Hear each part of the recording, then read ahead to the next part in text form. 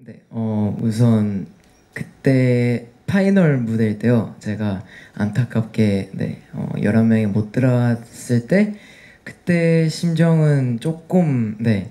어 조금 기대는 했지만 네, 안타깝게 못 들어간 소식을 들었는데 그때 기분은 그냥 뭐 조금 아쉬웠는데 그때 이제 다 끝나고 그리고 이제 작가님들이랑 피디님한테 다 인사하고 집에 돌아갔는데 제가 어 원어원 그 파이널 무대 때 솔직히 어 마음은 조금 네 아쉬웠는데 울음이 조금 나왔는데 집에 가자마자 제가 샤워하면서 울음이 많이 나오더라고요. 그래서 어 왜 그러지 갑자기 그래서 아무래도 이제 열심히 해온 만큼 그런 결과가 어 그렇게 나왔는데 어 저는 정말 그 이후로부터 정말 가수의 꿈을 포기하지 않고 네.